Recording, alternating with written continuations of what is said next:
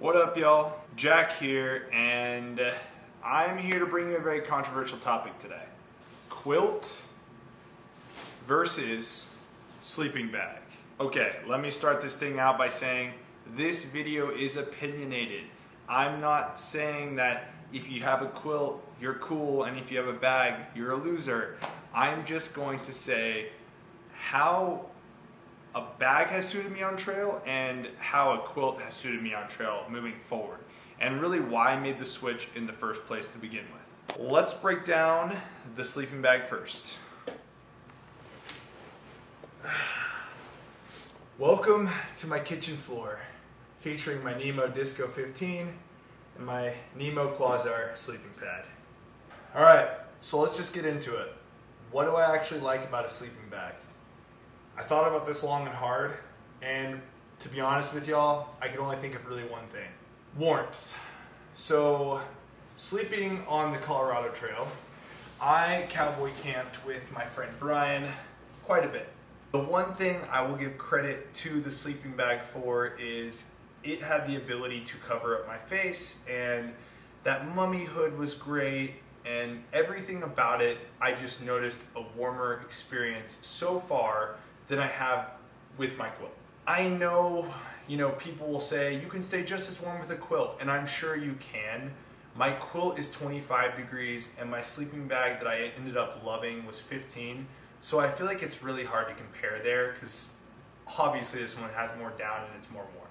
But I do feel like the ability of the sleeping bag to keep you encased and keep more of your body heat in is just better than a quilt. No matter how good you cinch a quilt, there will be some sort of draft if you slightly move or if you really just allow any of that air to get in. Now, I'm not just here to hate on sleeping bags and say they don't have a place. I think it depends on what kind of backpacker you are and just what your sleeping comfortability is. But that's really my only thing I could think of that I could say I really enjoy more about the sleeping bag. Now, on to kind of the things that drove me away from a sleeping bag, or the cons. I think for one, the sleeping bag journey for me started out with a Amazon bag, which clearly didn't last long. But as I got into backpacking more and put in bigger miles, I found the REI Magma 30. Now that 30 degree bag was great. It was very, very light. I think it only weighed a pound for a men's long, which was incredible but it wasn't warm and it was not comfortable whatsoever.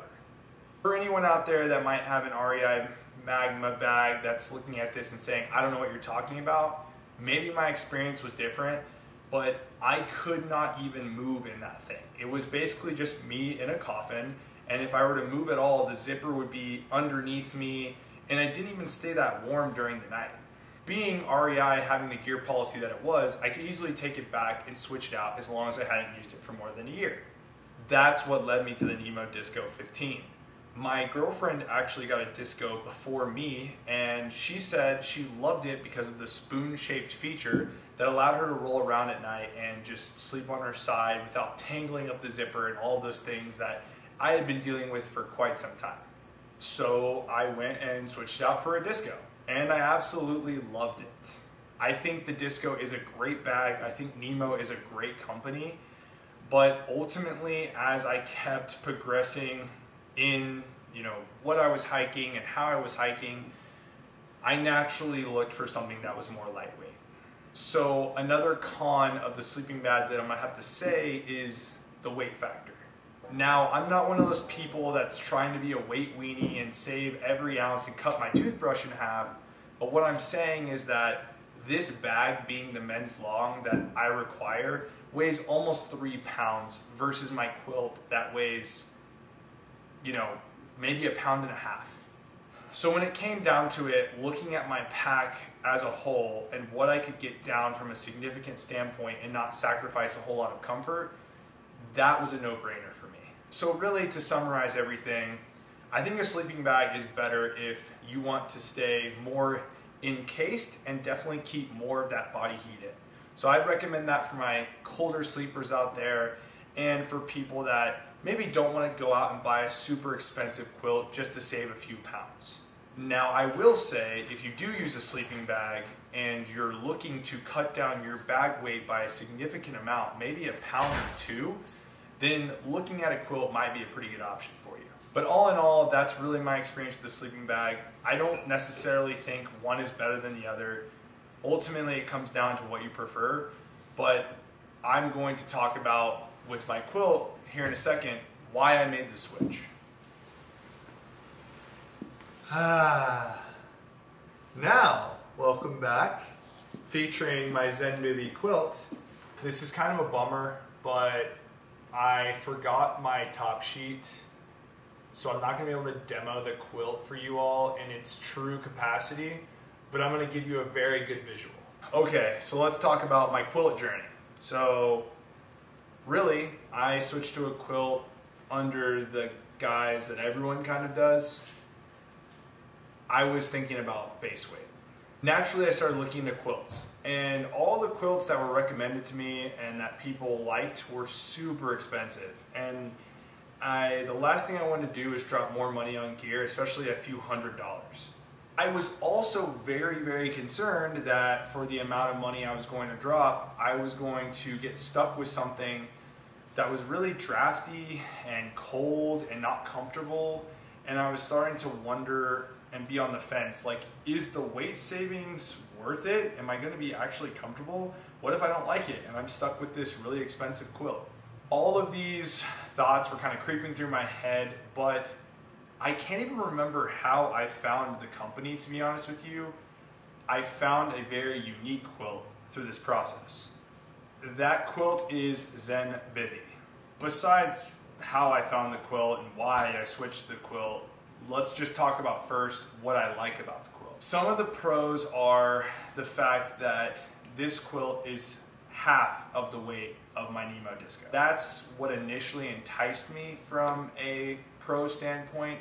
I absolutely love the customized feel to this quilt. First, let me explain. With this quilt, there is a top sheet that actually goes on top of your sleeping pad first. Well, the really cool part is it's really easy to slip on. It slips on from two holes in the top and two holes at the bottom.